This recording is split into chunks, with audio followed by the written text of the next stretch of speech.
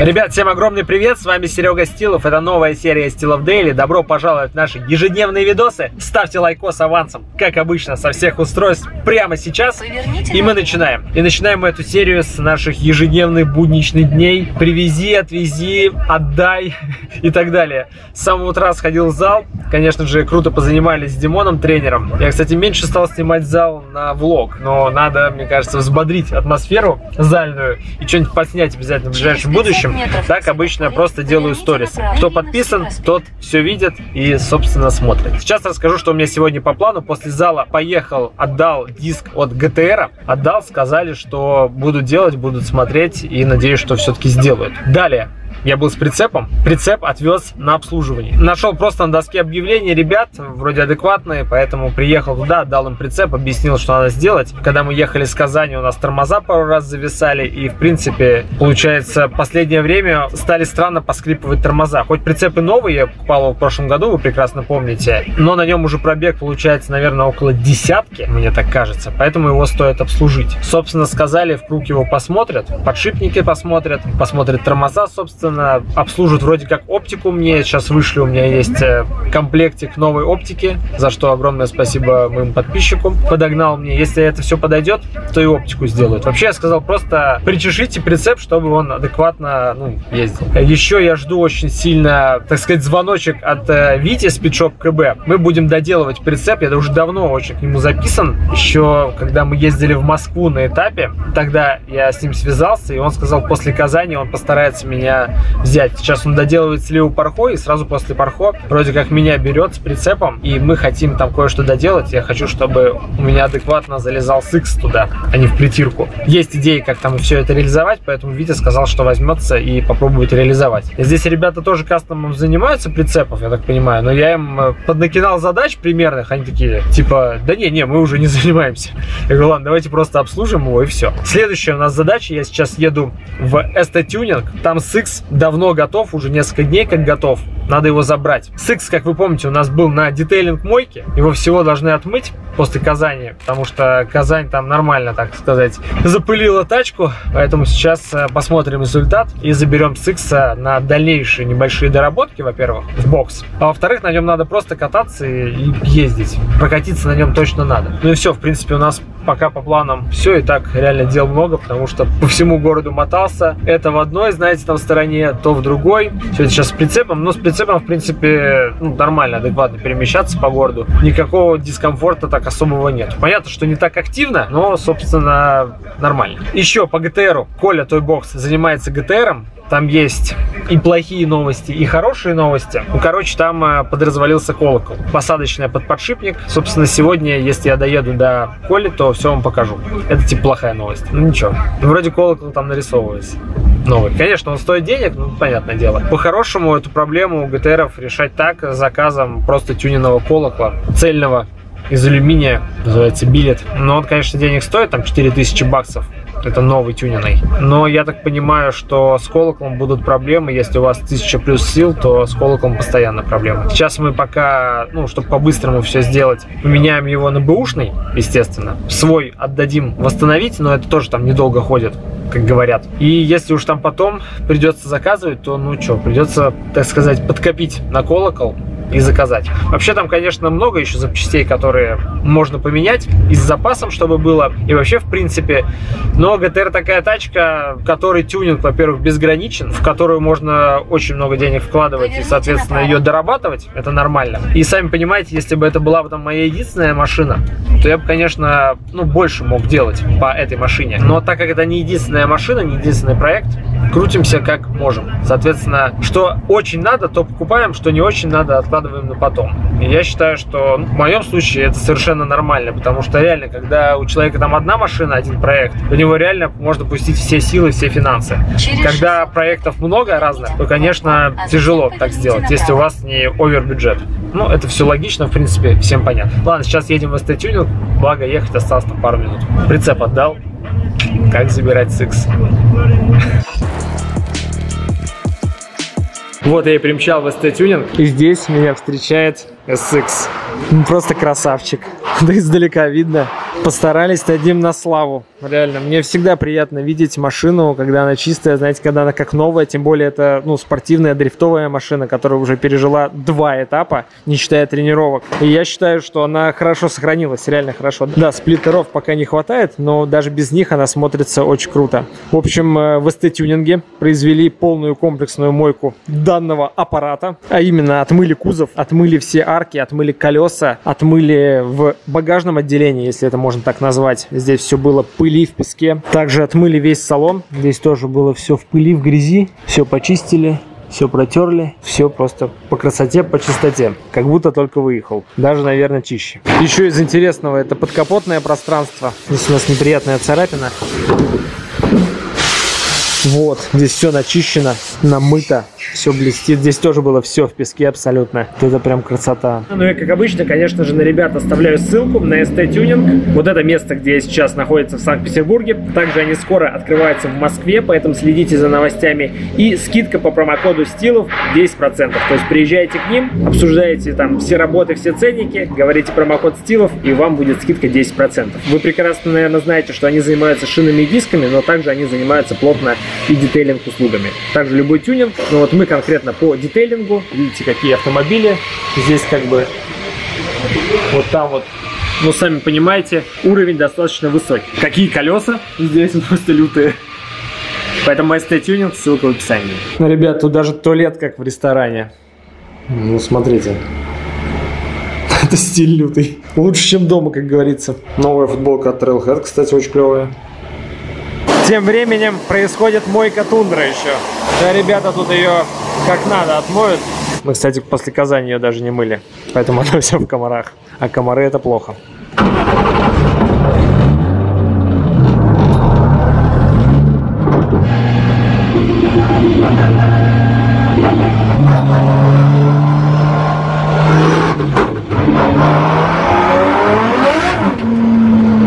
Ребята, SX Bus Motors. С ним будем проводить некоторые работы. Надо поправить двери. Они у нас вот так закрываются. Идеально.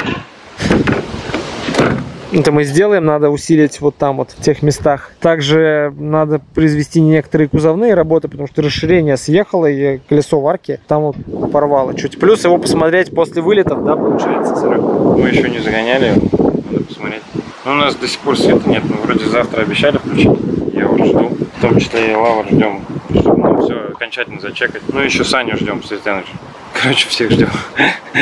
Да, здесь нам надо по технически посмотреть, все ли в порядке. Ну и, в принципе, можно дальше кататься, тестить. Давно не снимаю бокс, потому что в гараже нету света уже неделю практически. Вроде тут процессы идут, но, конечно, в темноте не поработать. Поэтому лавр тут на стопе, так сказать.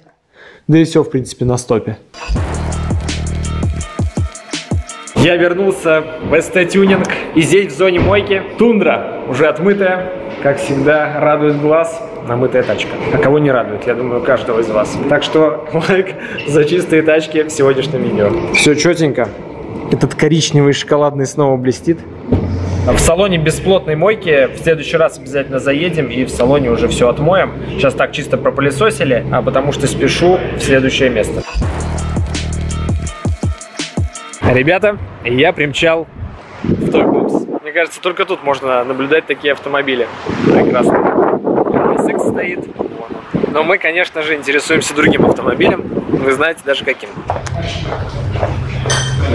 Здравствуйте. Собственно, это в смысле? Тут было все разобрано. Что происходит? Николай, да. здравствуйте. Да, привет. Слушай, ну так звезды сложились, что у меня был зиповский э, колокол, и мы тебе его поставили. То есть машина уже по факту готова. Осталось поменять свечи. Лямды мы местами поменяли, и надо будет посмотреть. Если а будет... пины смотрели? Да, пины все посмотрели. Не замятый, не зеленый, ничего. Если будет опять на это же ругаться, это, скорее всего, зеленка в мозгах. Что случилось? Твой колокол стал старого образца. Старые японцы делали а, железный а, подшипник, он был впрессован просто в алюминий. И его просто разбивало. То есть мы начали делать как? А, начали вытачивать, вытачивали железную проставку, прессовали железную проставку, потом подшипник, чтобы все это работало. Вот. У тебя было то же самое. Уже сделано? Это, да, уже сделано, да. Но вот эта проставка, она выскочила. И все, угу. там не держит. Я понял. То есть надо новую проставку делать еще больше, еще больше растачивать и запрессовывать. Это частая проблема, да, ГТР? Это частая, да. И японцы это, ну, это увидели и начали делать рестайловые колокола уже с завода, уже с этими вставками, но там идет э, тут без топоров, вот, а они сделали там три стопора. То есть сама проставка, сам подшипник, чтобы все это, ничего Мгм. это не ходило, не бегало. Я понял. Вот. И вот мы тебе поставили хороший рабочий колокол. А там тоже уже сделана Там поставка? уже сделан, да. да. Я-то думал, что сейчас придется билет колокол заказывать. По-хорошему, да? По-хорошему, да. Понятно. Но я уже Но- понял, что... Да, но это все, это до свидания сезон. Это все очень а, долго, муторно. Не-не, это я к тому, что на запас, чтобы уже был. А, ну, это на- на- надо заказать, да, чтобы... чтобы- Ну, на такую машину Да, стопудово он да, нужен. Да, да, да. Потому что все-таки обороты большие. Эти маленькие подшипнички зачем там так сделали, ну, непонятно. Вот. Денежные обороты машины. Денежные обороты, да. О, сейчас продемонстрируем. Собственно, мой колокол. Вот он. Этого быть не должно, да? А Вот эта проставочка, вот, которая оттуда выскочила. Вот. И сюда подшипник должен запрессовываться на прессу. А он вот, А, я понял. руками, да. Мгм. То есть он и вот это все гуляет, понимаешь? Так, ребят, чтобы вы понимали, у ГТР блок, потом идет колокол, потом идет кардан. То есть не идет коробка, как у обычных автомобилей, идет кардан, а коробка находится сзади. Есть еще сцепление без сцепления. Без дисков. Это демпфер. А, там есть э, вот такая же часть, я понял. То есть это вот так ставится. А, кстати, там пружинки живые были? Да, да, прикручивается к маховику. Вот, и все вот это вот, ну, демпфирует, все это работает. И вот это твой, вот это вот грохот, это вот, вот это все. Вот такие дела. Ну, конечно, вы сегодня, я так понимаю, утром начали и уже готово. Все сделано, вот осталось только свечи поменять. и Класс. Теоретически можно поехать и ничего это. Просто если вот это вот Лямду проверить надо. лямбду проверить, да. Срочно. Да. Если там же, то уже лезть в проводку уже туда, в район бардачка, скажем Мгм, так. я понял. Так что вот, ну, по выхлопу, если ты дашь добро, я отгоню машину, Да, да. сделаем. Вот, потому что Конечно, добро. период отпусков и, ну, сварщика нету. Он вот. Понял. А еще у нас э, очень крупные изменения.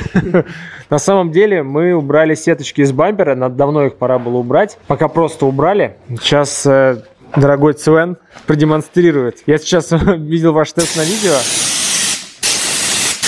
Смотрите. Да, это прикол. Настолько она защищает. Казалось бы, ну типа сеточка, вот она. Дырочка. Дурочка. Охренеть. То есть воздух вообще, мне кажется, практически не попадает. Ну, воздух у тебя попадал. Не, ну что-то сосет, понятно, откуда-то, из щелей. Щели-то все-таки есть, все-таки там на фильтрах. Не, ну понятно, да. Но масло кулер, Масло это кулер. всё это не охлаждалось. Так, а у нас там еще сверху-то радиатор идет. Да, сверху В него же тоже не попадает. Да, тоже снять. Потому что, видите, здесь в ГТР у меня вот здесь фильтр, вот здесь фильтр. Здесь у нас ничего нету, а здесь у нас идет стоковый масло-кулер. Честно, я бы тоже поменял. Поменял прям или помыл? Ну, посмотри, все соты, они загнуты. Да. Слушай, а там надо менять их на ГТРовский, либо... На ГТРовский. Тюнинг можно сделать. Почему? Можно АМС поставить, он больше и толще. Не, они типа не на анфитингах или нет там? Не, не, не, Нет? нет. Они прикручены, как на всех Ниссанах, э, фланятся и прикручиваются. Понятно. Да. Так вы еще решили вопрос с Ситрабом. Не, ну можно заколхозить. Почему? Можно же этот выкинуть все это дело. Вот здесь варить э, на этом такие же. Вот, сюда варить э, Фитинг? фитинг, да, и все это дело прикручивать. Блин, да, это было бы интересно. То- тоже делали. Тоже делали? Ну, делали, да, ставили тюнинг. Ну, я понял. Анфитинг вывариваешь? такое, да? Что-то под него и э, делали. Не, ну сетки сняли, сейчас точно поедет лучше. Еще. Я думаю, 0,1, 0,2 сняли точно Да, уже. да. Ну, сюда, сюда По-любому. картонки вытащили. Ну да, как на газели. Да, Ну, там только еще одного радиатора не хватает. Да, масляного. Да, По-хорошему. Да. Вон у тебя есть, давай купим шланги. У тебя же есть? э, Да, у меня есть э, приспособа. а, там стоит, а, она же с этим э, стоит, как он называется, с э, Термостатом? термостатом. Да, я покупал отдельный ККС термостат. С термостатом и, соответственно, ну, шланги пустить и все. Да, шланги Будут пустить. они... Единственное, что видишь, почему у них алюминиевые шланги там сделаны. Ну, Ты говорил, что там Вибрации. очень вибрации. Да, когда открываешь термостат, я пер- первый ставил, э, кузова коснулась, и ну, вроде тихо. Клиент уезжает, приезжает, глаза такие, говорит, это что такое? А там прям термостат открывается, прям Ничего себе. в салоне вообще невозможно. А у них там кит идет на каких-то резиночках-проставочках? Да, да, да, да. Демпферы. У тебя нету его здесь? Или ты все поставил? Все поставил. Понял. Ну, может, вдруг в зипе, знаешь, как. Тут на самом деле невероятная история, что вот так вот это все решается.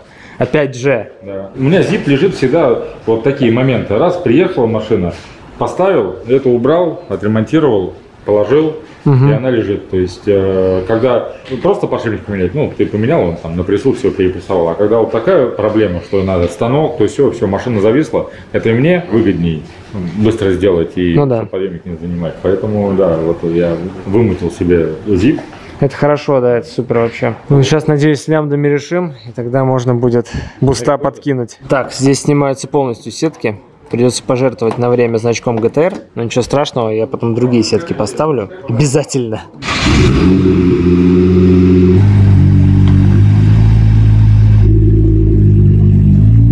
Так, ребят, я сейчас немного проехался, так сказать, в тестовом режиме на Геттере. Коля сказал, надо проверить. Поменяли местами лямбды, чтобы посмотреть, будут ли какие-то изменения. Если выскочит ошибка, то посмотреть на какой стороне. Если та же сторона, то это проводка. Если другая сторона, то это лямбда. Собственно, проехался, чек все так же загорелся на пятой передаче. Скинули лог настройщику, он посмотрит и уже даст нам ответ. Ну а мы будем, соответственно, дальше двигаться. Да, да, мы сделаем э, завтра свечи, масло, В коробке. а, да, фильтра поменяем. На сегодня с ГТР все дела сделаны. Завтра Коля будет, соответственно, продолжать по нему работу. Но самое главное, что сегодня его удалось сделать, еще и протестить, что мне казалось невероятным, когда я узнал, что с колоколом у нас проблемы. Я еще поузнавал, что все-таки если заребилдить колокол, да, ну, токарными работами, грубо говоря, то, в принципе, он ходит и 1000 плюс держит. Понятно, что если эта проблема будет постоянно появляться, да, то есть там меняешь колокола, делаешь их, ребилдишь, все равно эта проблема появляется, то тогда, наверное, да, надо брать уже тюн и на это выделять бюджет. Но пока это все работает, как бы понятно, что если там бюджет овер, то можно сразу все тюненное купить и все. Пока, в принципе, вот так поездим, посмотрим, как колокол себя поведет. Ну и никаких звуков у нас дополнительных пока не появилось. Надеюсь, что все-таки это была проблема как раз в. Но она там была как бы прямо вот на вид. Также, как вы помните, я скинул сразу логи настройщику. Настройщик отписался и сказал, что теперь у нас проблема по банк 1, то есть по другой лямбде. А это значит что? С учетом того, что мы их поменяли местами, это значит, что дело не в проводке, а дело в самой лямбде. Скорее всего, она попала сбракованная. Такое бывает, такое часто бывает широкополосками тюненными, ну типа 4.9, да, бошевскими. Здесь, в принципе, такая широкополоска, но она просто идет, э, я так понимаю, под Nissan, потому что коробочки у нее Nissan, по-моему. Ну и, собственно, стоила она там подороже, потому что она, видимо, и с фишкой Nissan. А поэтому мы как сделаем? У меня есть одна лямбда, у меня было две лямбды мои старые, одна из них э, плохо работала, поэтому мы поменяли две. Мы возьмем мою старую лямбду, которая хорошо работала и не давала никаких ошибок, поставим и протестим. И я надеюсь, проблема уйдет. Если проблема уходит, то можно дальше настраиваться.